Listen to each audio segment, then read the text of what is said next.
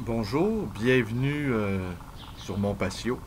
Nous sommes à Montréal le 26 juin 2016 et mon nom est Bruno Lalonde. Aujourd'hui, je vous lis une petite notice insérée dans un livre. Je vous montre le livre.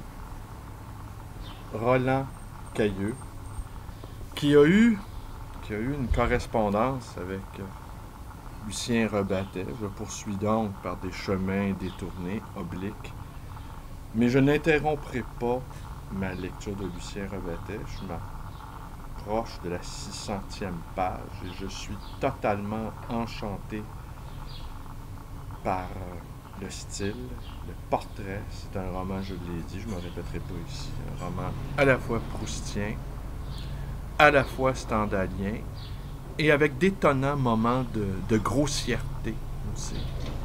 Alors, euh, il n'est pas... Euh, il n'est pas bégueule, Lucien Rebattet. Même si son style est somptueux, tout à coup, il y a des grossièretés, il y a des incongruités, il y a des scories qui rend, qui trouent le texte et qui lui donnent une, vivacité, qui lui donne un, relan existentiel tout à fait juste. nous ne sommes pas que de purs esprits et euh, en témoigne. Alors, je vous montre ceci.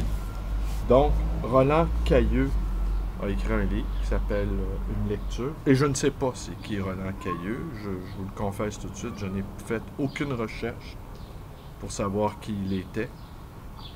Outre le fait qu'il a eu une correspondance avec euh, Rebattet, pendant que Rebattet était en prison, il fournissait des livres à Rebattet. Et Rebattet continuait d'exercer son sens critique par contre, ce que je vais vous lire, c'est ce qu'on y trouve à l'intérieur. C'est ceci. Une notice de lecture que je vais vous lire à l'instant. Bruno a 30 ans. La mort de ses parents l'a contraint à prendre très jeune la direction de l'affaire créée par son père et il s'est mis à s'occuper de la fabrication d'objets en verre. Il le fait bien, sans ennui, parce qu'il est intelligent, actif et travailleur. Il n'aime pas l'argent, mais les satisfactions matérielles que son bon usage peut procurer. Une voiture, une maîtresse agréable et peu sotte, des loisirs, quelques spectacles, des amis intéressants ou pittoresques. Il n'en faut pas plus pour qu'un jeune industriel parisien de 1935 se sente assez près du bonheur. Bruno est loin d'avoir le cœur sec. Il a certes une sorte d'amour pour Dora, sa maîtresse, une jeune actrice sans beaucoup d'avenir, mais qui aime passionnément son métier et fait bien ce qu'elle fait. Mais il a surtout une affection très vivante, un peu paternelle et qui se transforme en amitié pour son frère cadet, Gérard, que sa mère lui a confié. Il veille sur le petit, qui est un très grand, et solide garçon, peu compliqué, loyal, sportif et qui ne pense guère à se poser de questions. Au hasard d'une visite médicale, Bruno apprend qu'il a un point au poumon. Le choc est très dur, mais Bruno se conduit bien. Il agit avec énergie et décision. Sans s'attarder à gémir, il confie la direction de l'affaire à Gérard, rompt un peu brusquement à avec Dora, et part pour Grasse, où il vivra seul pendant un an. Et il se met à lire Proust. Il ne sait rien de l'œuvre ni de la personne de Proust. C'est un nom qu'il a entendu au cours de conversations entre ses amis, et c'est un nom qui l'agace un peu. Ceux qui le prononcent prennent facilement un air membre de secte qu'il n'aime pas. Il se met à découvrir Proust tout seul. La majeure partie du livre sera faite de cette sorte de journal de lecture de Proust, par un esprit non prévenu, de formation non littéraire.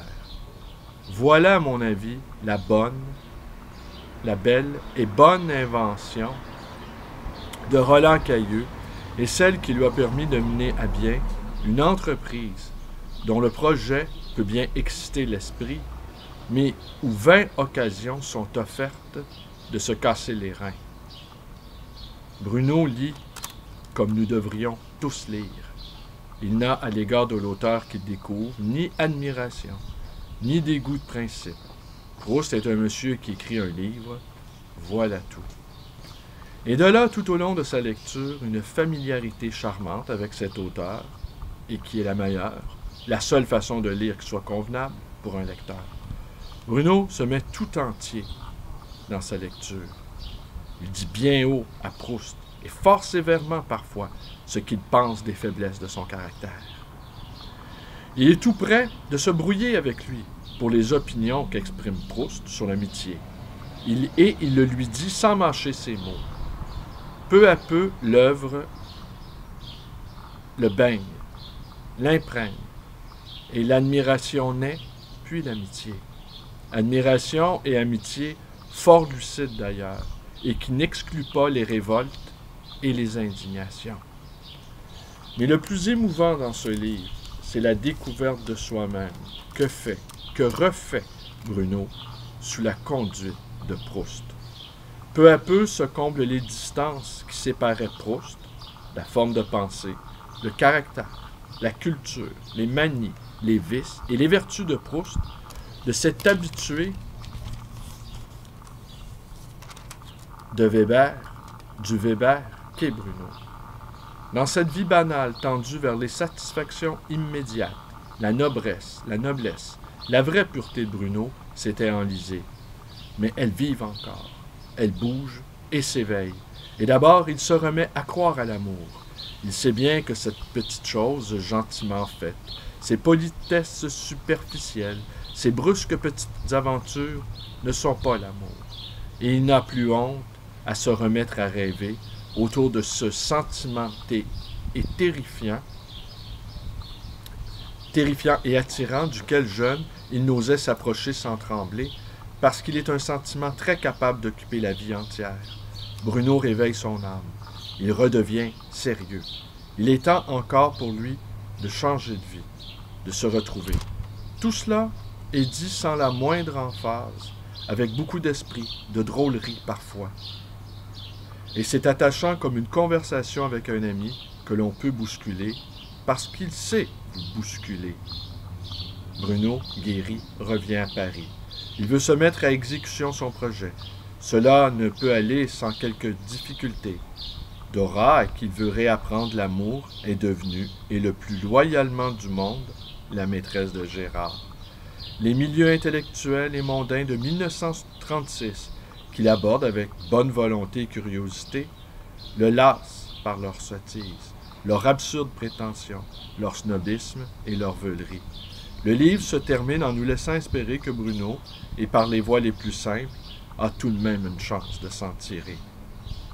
Tel est le livre de Roland Cailleux, un livre audacieux et fraternel et constamment intelligent, de cette intelligence du cœur et de l'esprit qui n'a rien à voir avec l'intelligence des écoles et qui touche directement quiconque a du cœur et de l'esprit. Jacques le marchand. Alors, je vous remonte. C'était donc inséré dans ceci la quatrième édition. Le copyright est de.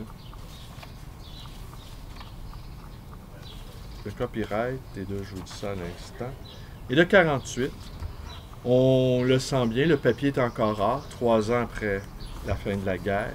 Il y avait encore pénurie de papier. Alors, c'est un mauvais papier qui ne, qui ne n'endura pas beaucoup de sévices à mon sens. Et curieusement, il a été imprimé aussi en 48, donc il a connu quand même un petit succès. Et il a écrit à Saint-Genès-la-Tourette, Châtel-Guyon, mai 42.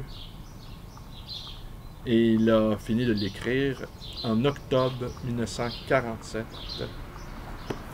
Alors, ce qu'on y trouve aussi dans ce petit encart publicitaire, on y retrouve des commentaires de, je vais vous lire ceux qui m'apparaissent, en tout cas les plus connus. Roger Nimier. Comme il est, étrange de découvrir un autre lecteur. Maintenant, je dis Marcel. Maurice Nadeau, l'éditeur, que dit Maurice Nadeau, personne n'avait encore, personne n'avait encore pensé à raconter la transformation d'un individu par la lecture d'un grand écrivain. Le sujet peut se révéler vaste s'il parvient à se réfléchir sur plusieurs miroirs parallèles. C'est ce qui arrive ici, et Roland Cailleux le traite avec un suffisant bonheur pour que, sur un troisième plan, nous nous mettons nous aussi à rêver sur ces personnages, à mêler les événements de notre vie à la leur, à extraire de leur conflit avec l'existence et autrui quelques grains de sagesse. Luc Estan écrit Il enseigne comment il faut lire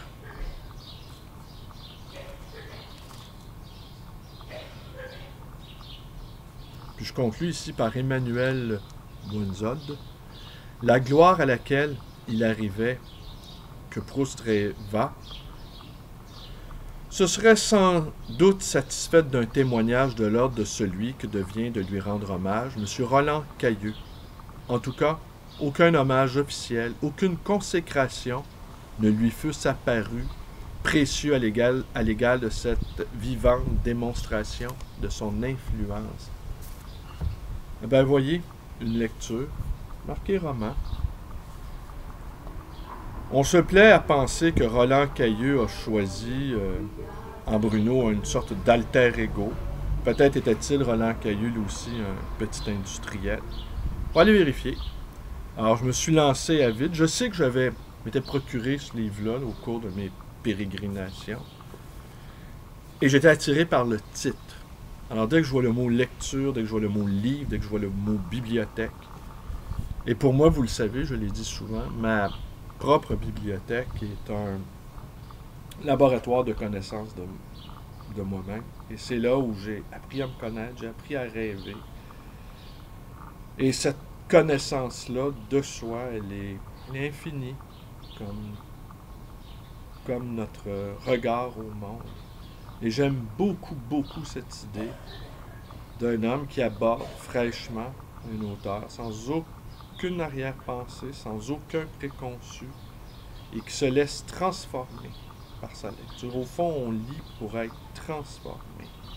Lire, vivre, quelle est la différence? Alors, je vais vous en reparler un jour, peut-être, si j'en ai envie, parce que je, fais des lectures dont je ne vous parle pas.